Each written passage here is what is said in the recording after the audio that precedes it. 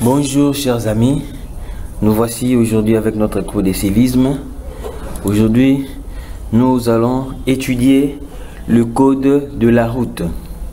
C'est vrai quand nous conduisons, euh, il y a des choses que nous devons respecter, des règles, des principes, euh, des principes routiers euh, qu'on doit respecter pour éviter des accidents, des choses horribles. C'est pourquoi il est établi un code de la route que tout le monde doit respecter pour le bon déroulement des choses et puis pour la, la bonne circulation ok, routière.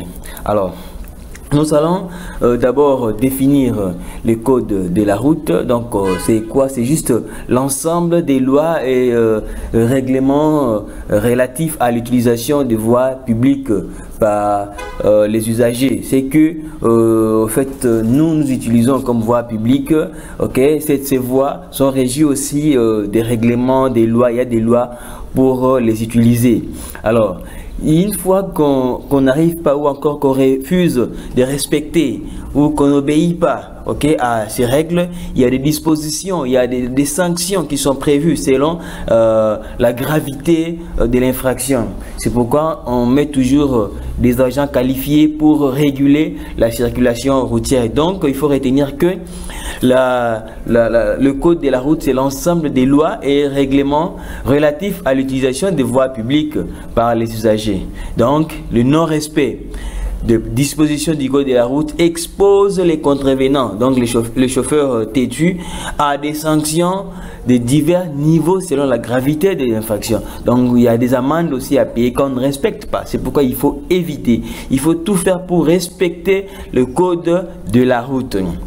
Alors, euh, le conducteur d'abord, c'est lui euh, qui est censé respecter ces codes de la route, qui est appelé conducteur.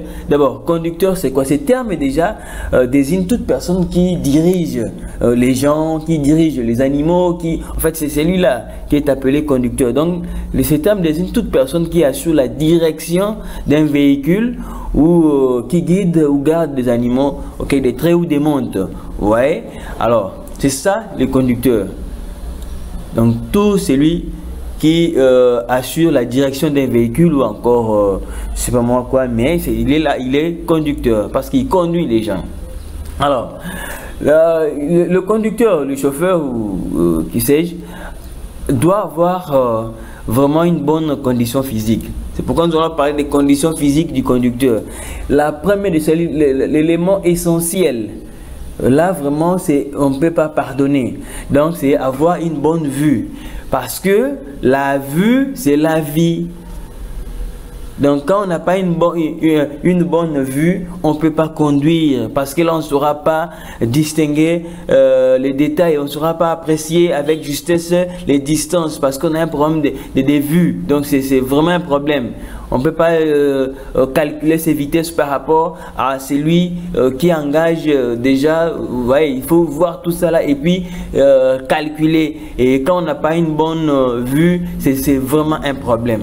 Donc, il faut avoir une bonne vue. Si vous, avez des problèmes des yeux, il ne faut pas conduire, il faut pas oser. Sinon, surtout la nuit comme ça, ça, ça va payer cash. Donc, vraiment moindre inattention, ça paye très très très cash. Alors, les conducteurs maintenant, à l'égard des piétons, vous voyez, nous, il y a des problèmes vraiment que je vois ici au Congo. Ça, ça fait mal. Quand les piétons euh, empruntent la, voie, vraiment, vous voyez même les chauffeurs en train de klaxonner, vous voyez, c'est ce qui n'est pas bon. Alors, alors que les piétons ne peuvent être mis en danger, jamais. Ils doivent traverser librement. Et quand vous voyez déjà euh, les gens emboîter déjà, en fait, emprunter déjà la route, donc il faut stopper. Donc, ils ne peuvent pas être mis en danger.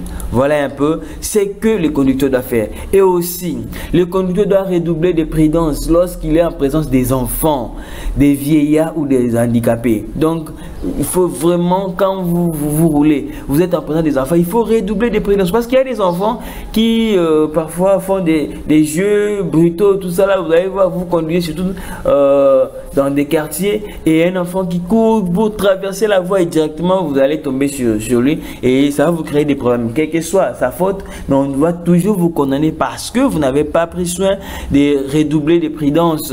Donc, et les vieillards aussi, les handicapés. Donc, on doit, euh, on ne doit pas les inquiéter. C'est vraiment important. Il faut comprendre ça. Le conducteur doit modérer sa vitesse et redoubler vraiment des prudences lorsqu'il longe un véhicule de transport en commun ou euh, un véhicule scolaire qui est arrêté pour euh, embarquer ou débarquer des personnes. Vous voyez déjà quand vous voyez un véhicule qui, euh, qui est en stationnement pour embarquer ou débarquer, il faut faire beaucoup d'attention. Il faut vraiment modérer sa vitesse pour que en fait, des accidents n'arrivent pas, pour que euh, des choses horribles n'en arrivent même pas. Donc euh, c'est vraiment ce qu'il faut faire. Alors, et aussi, le conducteur Lorsque les piétons sont obligés d'emprunter la, la, chaussée, les conducteurs laissent au moins un mètre. C'est pourquoi on dit toujours garder votre distance. La distance minimum, c'est un mètre. Il faut laisser au moins un mètre entre son véhicule et le piéton. Et doit, le conducteur doit aussi redoubler de prudence. Vous voyez comme ici, le, le chauffeur là. En fait, les enfants euh, ont emprunté la voie pour traverser. Et il a laissé une distance ici, vous voyez la distance qui est minimum un mètre. Ça peut être au-delà, mais pas moins d'un mètre. Il faut toujours, même pendant, quand on est dans l'embouteillage, ok?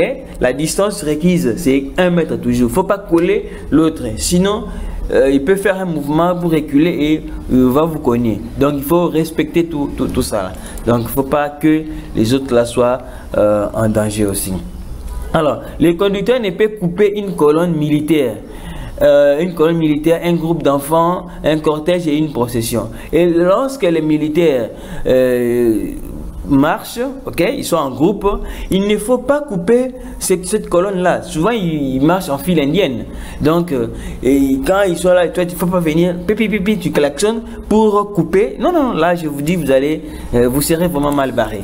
Et aussi, lorsque vous avez devant vous un groupe d'enfants, ok, il faut il ne faut pas aussi couper. C'est comme dans des écoles, parfois, il y a des moments hein, où on fait euh, des tours ok pour visiter un peu. Et déjà, quand on, voit déjà ces groupes d'enfants qui sont, euh, en fait, ces enfants qui sont en train de se promener, il faut pas couper, il faut attendre que euh, la colonne ou encore les groupes passent. Et aussi le cortège. Je vous dis, si vous osez couper, soit le cortège du président de la République, je vous dis, il faut déjà demander, euh, euh, d'abord, il faut, dire à la famille de vous apporter déjà euh, des choses à Makala parce que vous serez en prison. C'est une tentative, surtout avec le président de la République. On va vous dire que non, si vous voulez tuer le président, vous voulez faire ceci. Non, il ne faut jamais. Quand le président de la République passe, tous les véhicules s'arrêtent et vous êtes là, vous stationnez jusqu'à ce que la dernière personne va passer. Et aussi une euh, procession. Une procession, c'est quoi? C'est les groupes des religieux, en fait, les, religieux qui, euh, qui font très souvent euh, les chemins de la croix. Hein? ceux qui sont catholiques le savent. Quand ils vont faire des récitals, là, je vous salue Marie, plein de gars, et dans des quartiers, vous voyez. C'est ça qu'on appelle procession. Ces groupes de gens là, c'est ça qu'on appelle procession. Donc, il ne faut pas aussi couper cette procession. Donc, au risque de causer du tort. Merci beaucoup et à nous revoir prochainement. Bye.